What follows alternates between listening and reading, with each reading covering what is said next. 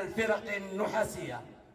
هذه التظاهرة الجميلة شكرا للجميع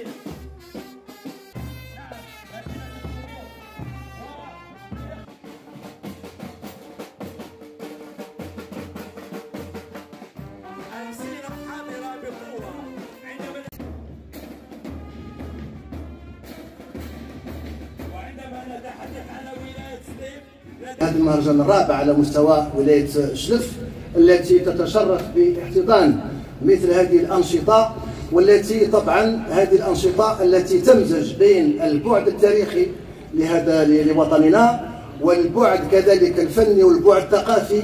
تحتضن ولاية الشلف اليوم فعاليات الطبعة الرابعة المهرجان الوطني للفرق النحاسية تحت رعاية كريمة للسيد وزير الشباب والرياضة والسيد والي ولاية الشلف بمشاركة 15 ولاية آه، يمثلون مختلف مناطق الوطن شمال جنوب شرق وغرب.